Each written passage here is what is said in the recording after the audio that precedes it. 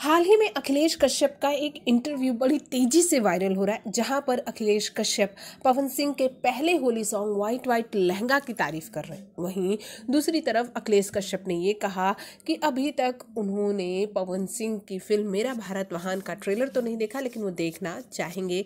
साथ ही साथ इस इंटरव्यू में अखिलेश कश्यप ने बहुत ही ज़्यादा बड़ाई की है पवन सिंह की। और तो और उन्होंने ये कहा है कि गार्जियन है वो हमारे।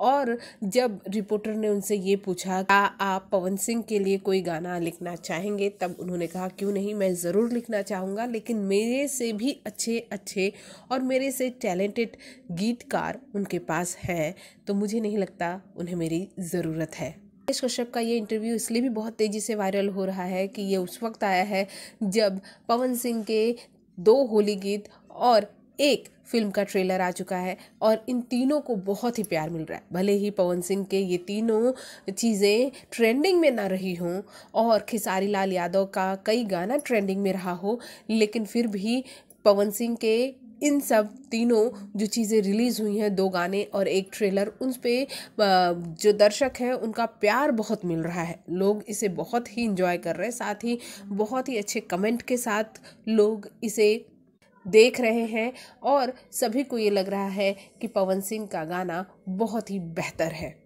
वैसे खेसारी लाल यादव के खेमे से अखिलेश कश्यप का इस तरह का बयान आना पवन सिंह के फैंस के लिए बहुत अच्छी बात भी है, क्योंकि ज़्यादातर पवन सिंह के लिए अखिलेश के खेमे से या यूँ कह लें खेसारी लाल यादव के खेमे से चीज़ें अच्छी सुनने को नहीं मिलती हैं। भोजपुरी जगत की हॉट और मसालेदार गॉसिप के लिए हमें सब्सक्राइब करना बिल्कुल ना भूलें।